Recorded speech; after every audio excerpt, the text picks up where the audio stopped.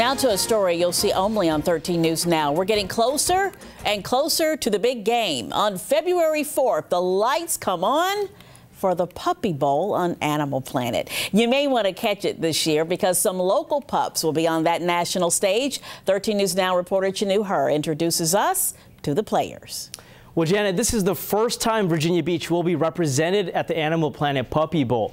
Animal Planet selected three dogs from the SPCA to participate, and right now, let's meet our representatives.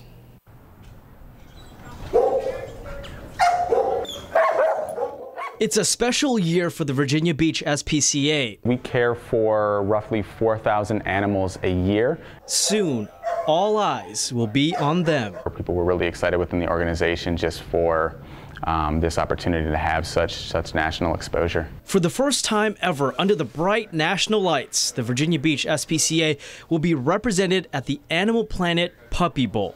The network reached out after hearing about the shelter holding its own puppy bowl. We sent applications for six puppies from three different litters back in August, and three of them got selected. All right, so let's meet the three. First, there's Queen Sheba. She's the seven month old Great Pyrenees mix who loves naps. Secondly, there's the American Staffordshire Terrier mix Macchiato, but full disclosure, he actually doesn't like macchiatos.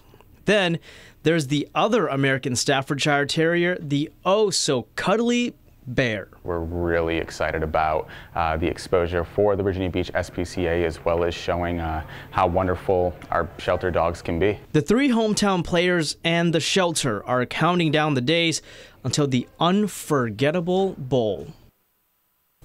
They're also cute. Well, the Puppy Bowl airs on February 4th. The SPCA will host a watch party at the Smartmouth Pilot House that day from 2 to 5, and all are invited. And also, guess what? All three of those players will be at the watch party as well. Chenue Her, 13 News Now.